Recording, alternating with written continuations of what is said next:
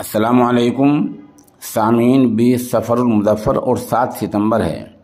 ख़बर का उनवान है, सनातन धर्म समाजी कलंक वाली बीमारी है।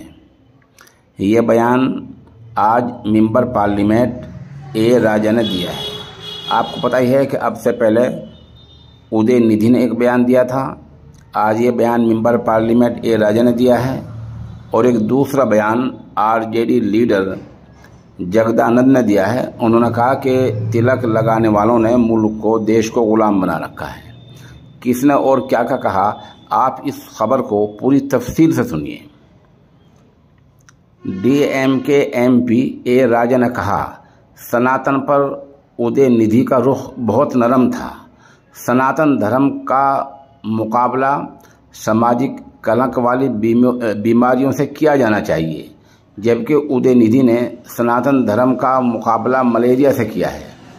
ए राजा ने कहा, सनातन का मुकाबला या तबादन एच और कुष्ठ रोग जैसे सामाजिक कलंक वाली बीमारियों से किया जाना चाहिए। सनातन पर मुतनाज़ा बयानों का सिलसिला थमने का नाम नहीं ले रहा है। तमिलनाडु के वज़ीर अला एम के स्टालिन के बेटे उदयनिधि स्टालिन के बाद डीएम के मेंबर पार्लियामेंट ए राजा ने, ए राजा ने सनातन धर्म का मुकाबला एचआईवी से किया है। उधर बिहार के बरसर इकतदार तबका, तबके में शामिल आरजेडी के लीडर जगदानंद ने कहा कि तिलक लगाकर घूमने वालों ने भारत को गुलाम बनाया है। उन्होंने कहा, देश में मंदिर बनाने से काम नहीं चलेगा।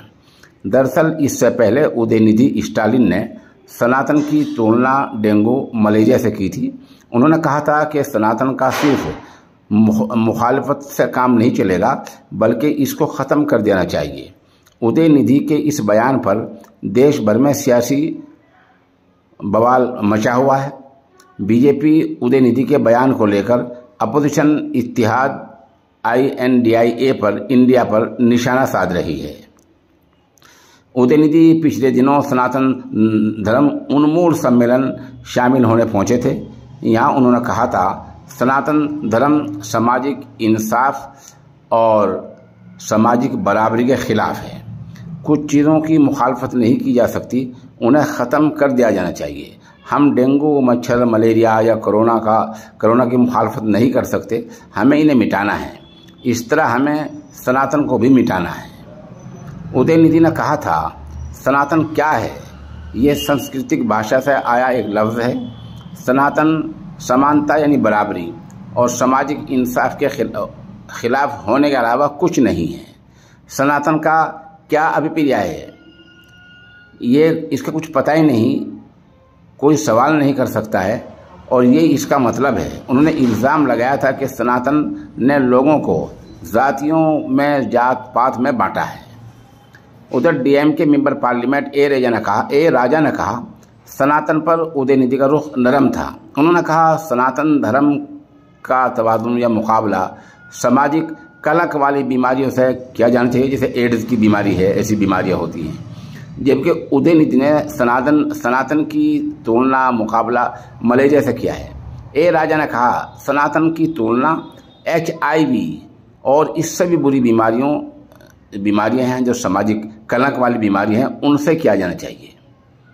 आरजेडी सूबाई सदर जगदानंद सिंह ने बीजेपी और आरएसएस पर निशाना साधा है। उन्होंने कहा तिलक लगाकर घूमने वालों ने भारत को गुलाम बनाया है। देश मन, देश मंदिर बनाओ या मस्जिद तोड़ने से नहीं चलेगा। अरकान को खिताब करते हुए जगदानंद ने कहा देश गुलाम किसी समय हुआ? क्या उस समय कर्पूरी ठाकुर, लालू प्रसाद, राम मनोहर लोहिया जैसे नेता थे? जगदानंद सिंह ने कहा, देश में हिंदू मुस्लिम को बांटने से काम नहीं चलेगा।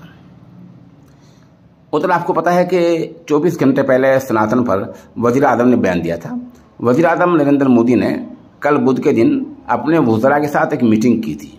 इस दौरान आज़म मोदी ने एनडीए के वजरा को कहा था कि सनातन धर्म पर उदय निधि के बयान का सही से सबूत को बुनियाद पर जवाब दिया जाए।